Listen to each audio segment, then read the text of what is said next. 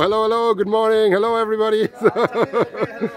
So this morning we are planning to go to the southern uh, exclusion zone. There's a new lava flow there and we're trying to sample that and there's Harry on the left and Juan Carlos and uh, our colleagues from the fire brigade. They're gonna escort us today. Muchas gracias. so and here we have a big jeep from the fire brigade, bomberos, and uh, they will take us in there and uh, we will have another two team members coming a little later.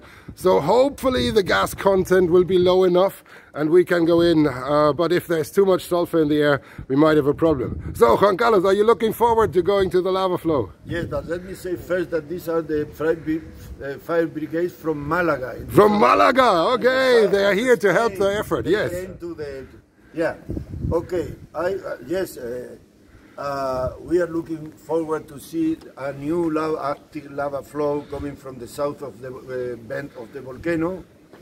When we thought that the volcano was going to die for good, uh, it's a new vent and a new lava flowing from, actually it's flowing from a lava tube, similar to the 1949 famous lava, uh, Todoque lava tube, which is very near. And we hope that we can we, we, will be able to sample the lava and to and to have a look at this uh, new activity of the volcano. Fantastic.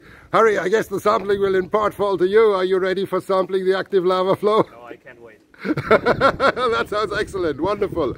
So, thank you very much, and uh, we'll report a little bit later. So, we're all set to go, but uh, as I said, we're waiting for two team members to still arrive. So, uh, we'll report back uh, if we are lucky enough to get in, and if we get a sample of the lava, I shall try to report on that.